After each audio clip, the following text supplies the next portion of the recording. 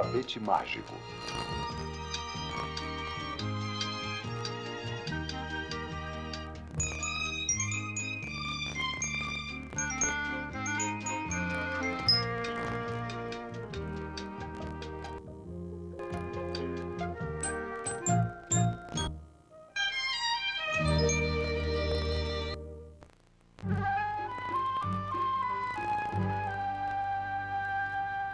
A história que vamos contar agora se passa na Índia.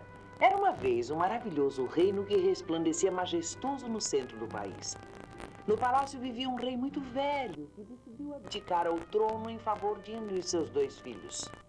Mas não tendo certeza para qual deles, ordenou que os dois competissem com arco e flecha. Aquele que conseguir acertar aquela bandeira com a flecha ficará no meu lugar.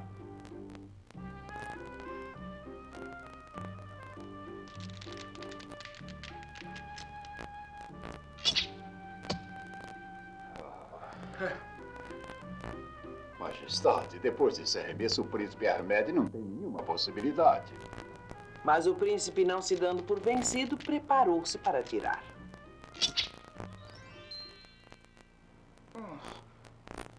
Como eu suspeitava, Majestade, o príncipe Ahmed dificilmente poderia igualar a bravura de seu primogênito. Meus cumprimentos, filho. Você será o novo soberano. Assim, com o resultado da competição, foi cumprida a vontade do velho rei. Depois da prova, o jovem príncipe saiu à procura de sua flecha, que ninguém havia conseguido achar.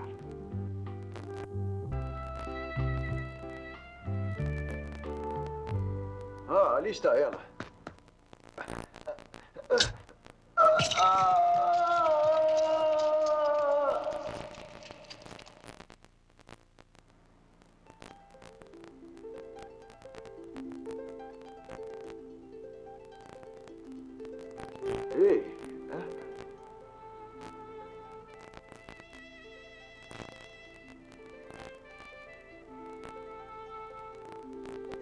você? Mas que instrumento estranho. Bem-vindo ao meu reino. Eu sou a princesa Peritata. Princesa Peritata? Eu nunca ouvi falar de você. Eu sei, o meu reino é muito escondido. A graciosa princesa explicou a Ahmed que o seu reino era subterrâneo e que raramente a permitiam sair até que se enamorasse de alguém. Transcorreram dias inesquecíveis e, como por magia, os dois jovens se apaixonaram. Eu quero casar com você. A princesa, radiante de alegria, aceitou. Ahmed decidiu regressar ao castelo para dar a notícia do seu casamento ao velho pai.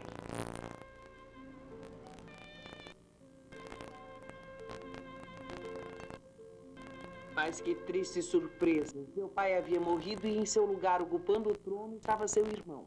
Ao seu lado, o malvado ministro olhava com olhos malévolos.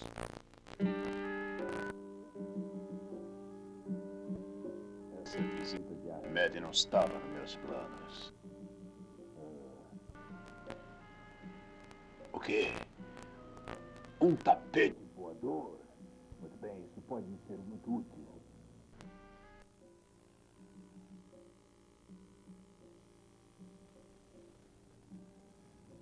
Majestade tem a impressão que seu irmão regressou para usurpar o trono.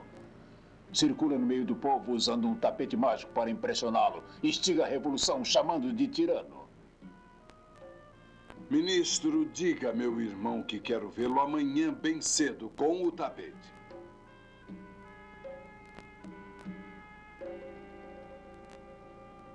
O primeiro passo fora dado. O malvado ministro se apoderou do tapete voador.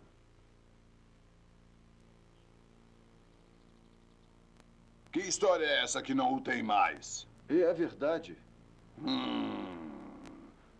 Escute-me bem. Você anda conspirando contra o meu reino. Eu conspirando contra. contra você? Exatamente. E não me interrompa, mas há um modo de provar a sua inocência. O ministro disse que se você conseguir cobrir o palácio inteiro com uma tenda, será absolvido. O príncipe Ahmed então retornou ao palácio subterrâneo de Peritata e lhe contou o ocorrido. Não fique triste, meu amor. O conteúdo deste vaso vai resolver o seu problema. Está falando sério?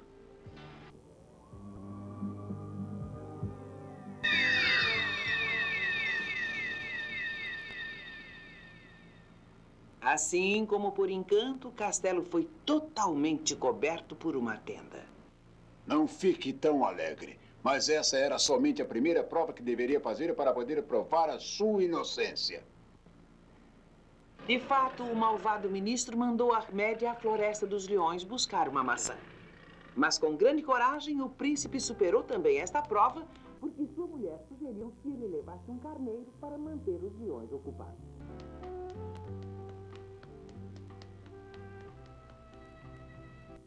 Outra prova seu irmão deseja agora? Ele quer uma coisa impossível. Quer que eu leve até ele um homem de 10 metros de altura com uma barba do mesmo tamanho. Isso não é difícil, mas dessa vez eu vou falar com você. Mas é perigoso. Ah, não corro perigo algum quando estou em sua companhia, meu amor. Majestade, quero apresentar-vos a mulher que desposei.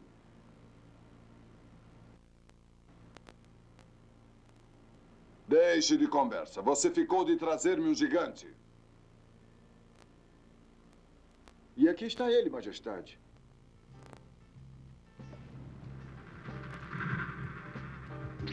Alteza, veja agora quem é o conspirador.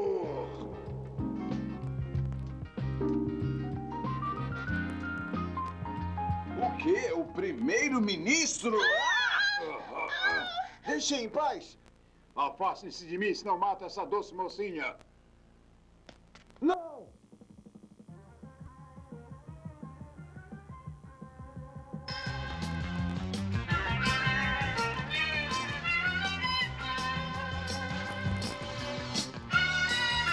Peritata! Pare de olhar para mim.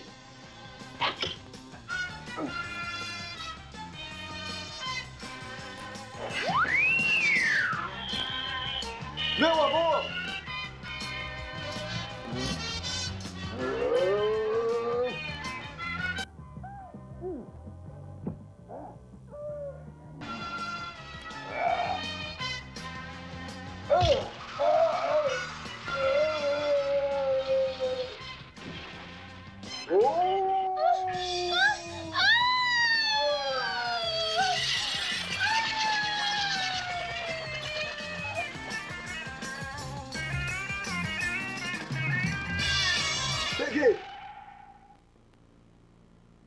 Graças à coragem do jovem príncipe, Peritata estava salva e o ministro derrotado.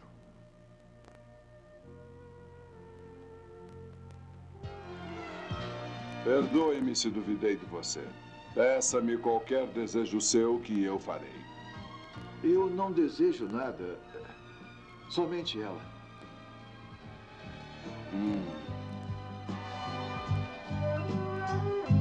E assim, mais uma vez, a bondade e a pureza triunfaram sobre o mal. Os dois jovens iniciaram uma viagem no seu tapete para um país onde não existia violência, nem ódio, nem aborrecimentos. Um país chamado amor.